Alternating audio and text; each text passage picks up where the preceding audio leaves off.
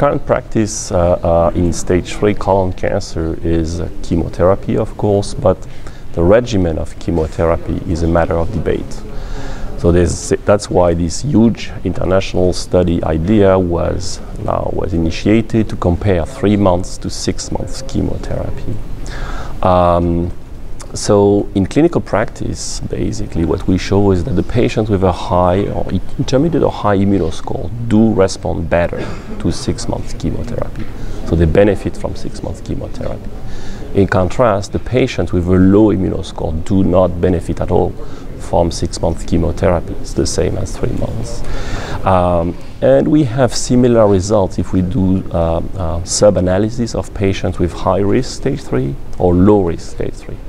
So only patients with an intermediate and high immunoscore will benefit. So those should receive the six months chemotherapy regimen. But the patients with a low immunoscore, unfortunately, will not benefit from a six months chemotherapy. So probably in clinical practice, you don't want to expose the patient to toxic, because this is a toxic treatment with lots of toxicity, in particular neuro neuropathology toxicity.